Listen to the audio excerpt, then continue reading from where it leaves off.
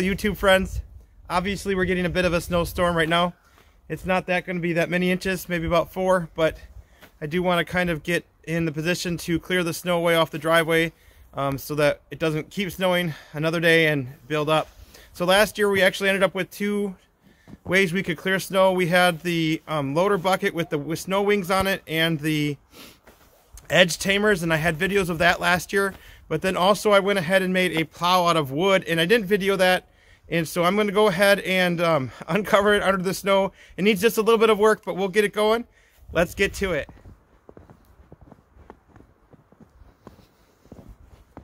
Okay, so here is the wood plow I made last year. It's got two holes there to fit the forks through.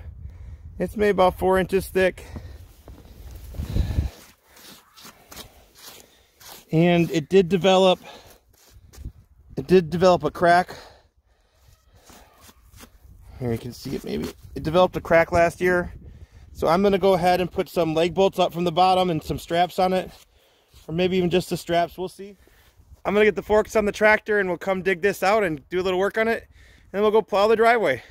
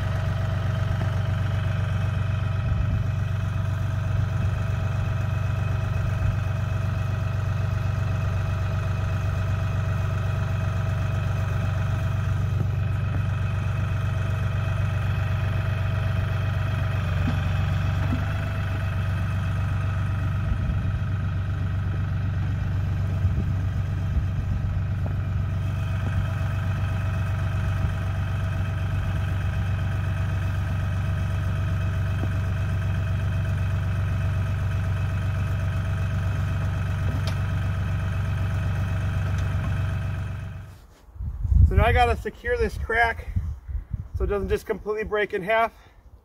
And I need to put a wedge back here to make sure it stays at a slight angle. So let's go do that.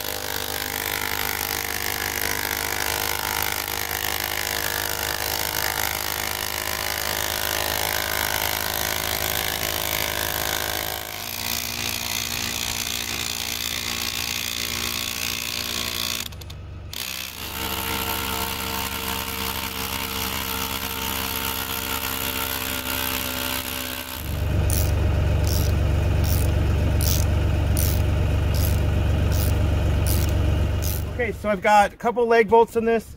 I got a lag bolt going up here, and I got a lag bolt going up there, and then I got a lag bolt going into the, the log on the back that keeps it at an angle. So I'm to push against so that doesn't flop off, and it's it's strapped onto the fork here. So I'm gonna go and um, do some plowing and kind of show you how it works.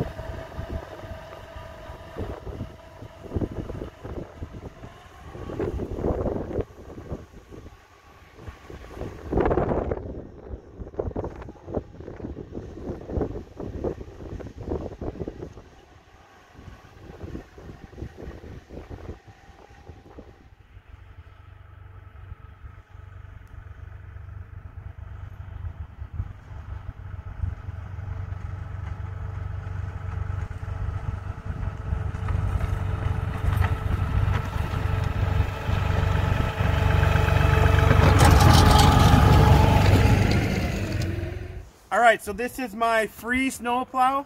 It cost me the, the gasoline and the chainsaw to cut it up, and it cost me a few lag bolts now to keep it together the second year. It looks like it's going to work again this year. I just got to clear the driveway. I still have the loader with the snow wings on it and the edge tamers, but that only really works well for pushing snow short distances. Going up and down the driveway, once we get over a foot of snow, I've got nowhere to push it. So, and I can't get sideways on the driveway. That just doesn't work to push it off and it take too long. This works really well for just getting it off to the side. And this will be what I'll be using most of the year here to do most of the snow clearing on the driveway. So for now, that's that.